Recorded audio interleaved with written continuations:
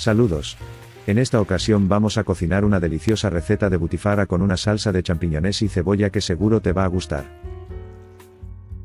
Te dejo ingredientes y cantidades al final del vídeo y en la descripción. Comenzamos poniendo un fondo de aove en una sartén grande. Cuando el aceite esté caliente, echamos a freír la butifara fresca. Freímos un par de minutos por cada lado a fuego alto. Pasado este tiempo, la retiramos para cortarla. Seguidamente, cortamos la butifara al tamaño que más nos guste y la reservamos. A continuación, laminamos el ajo. Y lo añadimos al mismo aceite de la butifara. Lo freímos unos segundos.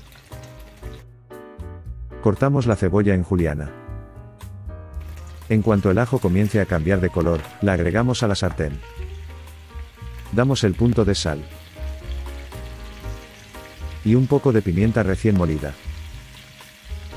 Opcionalmente, ponemos también un par de cayenas. Rehogamos la cebolla 8 minutos a fuego medio alto.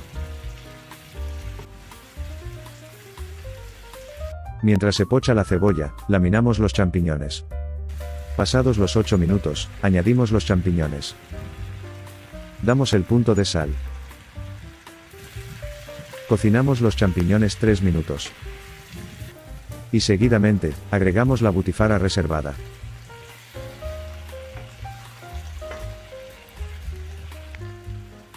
Echamos el vino blanco.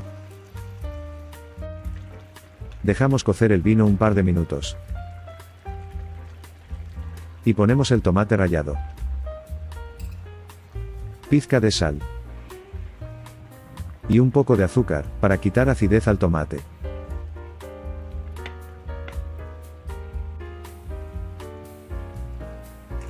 Añadimos un poco de agua y llevamos a ebullición. Ponemos perejil picado.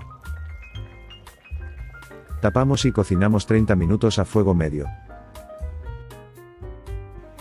Y pasada la media hora, nuestra receta está lista para comer. Mira qué delicia. Hasta la próxima receta. Gracias.